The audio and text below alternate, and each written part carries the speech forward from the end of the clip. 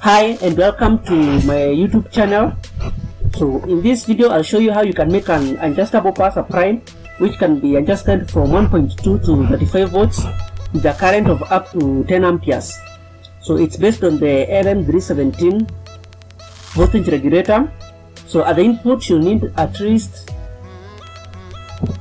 50 volts DC and a current of about 10 amperes.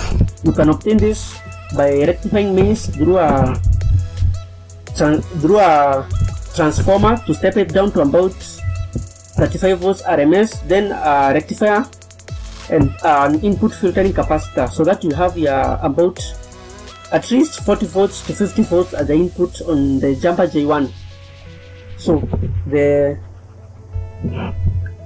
power transistor is the TIP 147 PNP transistor so this serves as a current booster for the LM317.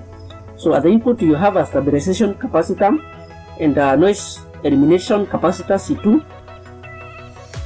So what happens is that so when the there is a load connected on the secondary side, when current flows through R1, a voltage drop will be established across R1 and when this voltage drop is sufficient enough to turn on the TIP 147 it will begin conducting and all the extra current will be bypassed and will pass through the TIP 147 rather than the LM317 since the LM317 can handle a maximum of up to about 1.5 amperes.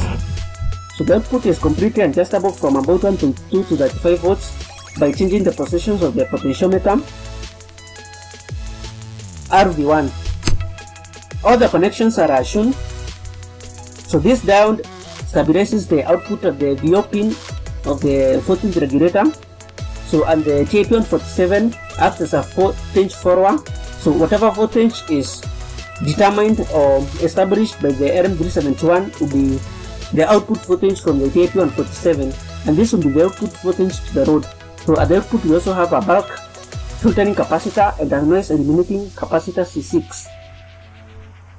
So don't forget to like this video and most importantly, subscribe for more amazing projects and click the notifications bell for updates about any future uploads. Have a nice time.